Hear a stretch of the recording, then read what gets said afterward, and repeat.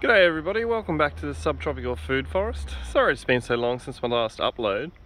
We're back looking at my Galaxy jackfruit tree. Um, about three and a half years old now.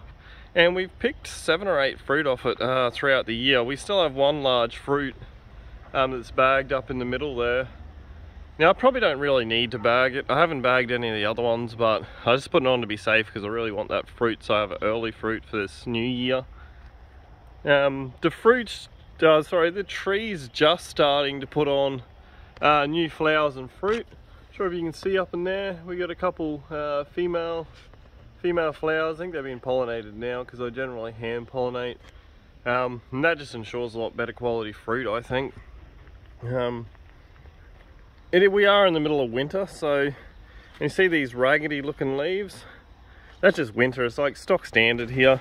Um, pretty much all of our tropicals look quite bad. Like, we haven't been too cold this year, though we have got down to, I think 1.8 degrees was the coldest we've had so far. If I come in here, you can see this is primarily where I want the fruit coming off.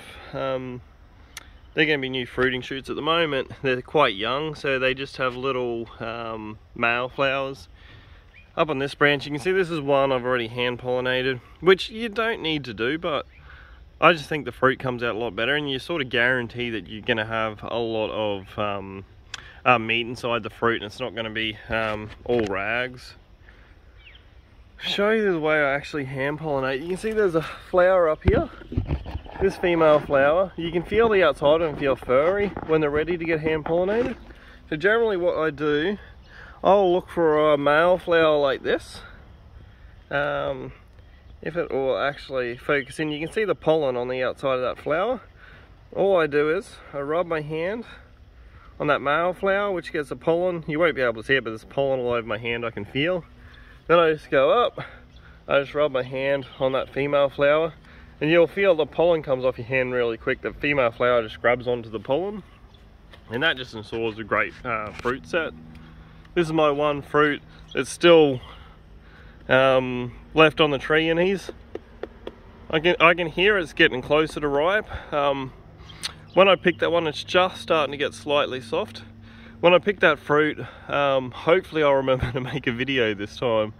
Um, you can see we have different flowers uh, fruit forming all over the tree. And this is pretty normal for me. We're in August start of August. Um, for some reason this jackfruit always seems to start flowering um, for me anyways, in July, which is really, really the middle of winter here. You can see our figs are um, just to put leaves back on. Um, if I can work out how to do it, I'll add um, some pictures of the cut up fruit that I cut up uh, this year. Um, yeah, I was super happy with the quality of them. Really nice, yellow orange, uh, crispy fruit. I was really, really pleased. This is my uh, Gold grafted tree.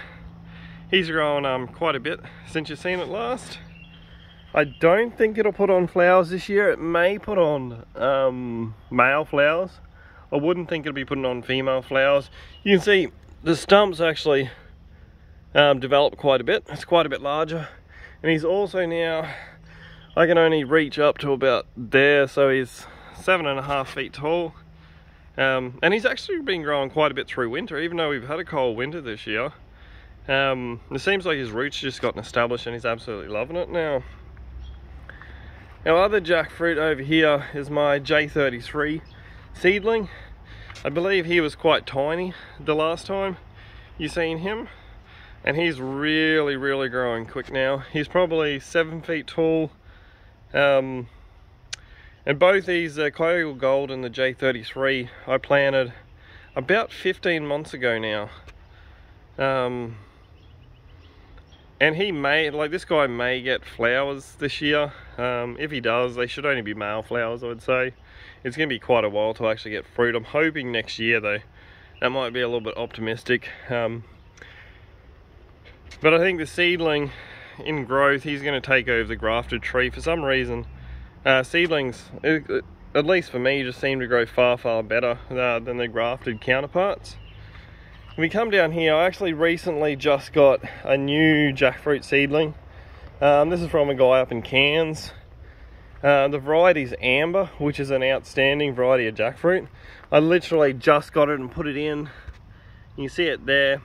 It did have more leaves, but um, I thought because we were in winter, the young plant's leaves wouldn't get sunburnt. But yeah, I was wrong. Uh, the leaves got quite sunburnt, so I put this little bit of shade over the top. I think once he throws his roots out and establishes them, he'll, he should be just fine. He'll throw out some new leaves and won't be an issue. That's an amber I planted, I think, one week ago. One other thing I'm considering doing uh, this coming year, I've got a couple seedlings from my Galaxy jackfruit that I harvested this year. I'm just throwing them in a pot here. Um, that's them there. And what I'm considering, I'm considering actually growing these guys up till probably, oh, maybe two feet high, and then actually grafting um, scion wood from another good quality jackfruit onto them. Um, now I'm not overly great at grafting, so I'm not sure if that will work. Um, I'll probably watch actually watch some videos on YouTube, get a better idea on how to do it. Um, but if I do decide to do that, I'll bring you guys back and show you, and we'll see the produce, uh, whether it works or not. Anyways, thanks very much guys. Uh, it's Josh from the Subtropical Food Forest.